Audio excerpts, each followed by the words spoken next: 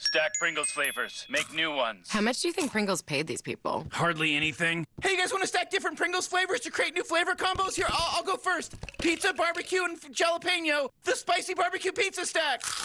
Get him!